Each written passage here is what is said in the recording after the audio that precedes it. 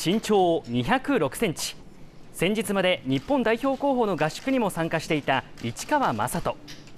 日本人選手トップクラスの大きさに加えシュート力にも定評があります。この身長で打てるスリーポイントって、まあ、日本人でまずこのサイズはあんまりないと思うのと、まあ、このサイズでスリーポイント打てるっていうのはやっぱり自分の中でもまあ貴重というか自分の中でもそれを持ち味にしてやってきたので。ただ試合に出るためにはハイレベルな外国籍選手たちとのポジション争いが必要になってきます。外国籍選手になると体の当たりであったりとかディフェンスのところの意識がすごい高いのでやっぱりそこで負けてしまってはやっぱりその相手にならないと思うのでもっと戦えるような体になってもっとやっていきたいと思ってます。得点能力の高い渡辺龍はかつて所属した古巣に3シーズンぶりの復帰です。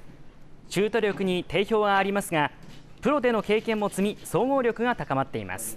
まずは、えっとまあ、ボールを持ってクリエイトをするっていうところは、まあ、去年からややってきてはいたんですけど、まあ、さらにこう、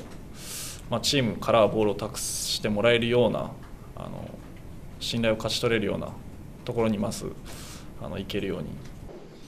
2人は月末の合宿などを経てチームとの連携を深めていく予定です。こうプレータイムをしっかり得てさらに伸ばして、えっとまあ、得点だったり、まあ、そういったスタッツのところも伸ばして西地区で優勝できるように、まあ、一つ一つ頑張っていきたいなと思います。